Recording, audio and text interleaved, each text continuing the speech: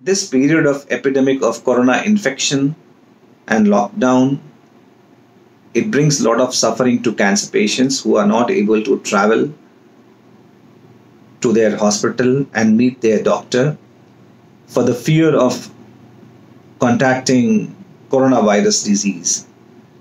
I can understand the pain and suffering and agony of uh, the patients and the relatives of uh, those who are suffering from cancer.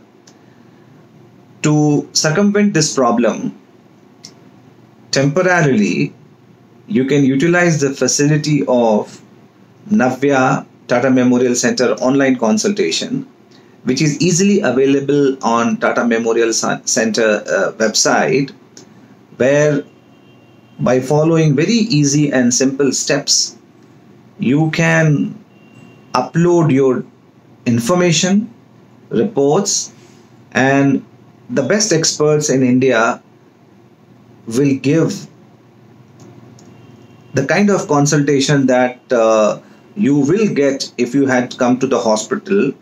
Similar kind of consultation and similar kind of prescription will be given to you through the online Navya platform. And this is a service that is easily available at the comfort of your home without you having to travel to cancer hospital. And this service i believe at this point when you are stuck at your home at your native place and you want to contact your doctors who are the experts this is an ideal platform which will help you in this hour of crisis. And i i'm sure this crisis will be over soon and i'm sure you will be able to go to the hospitals very soon. In the interim if you need this consultation navya tata memorial center which is a government hospital this service is available to you.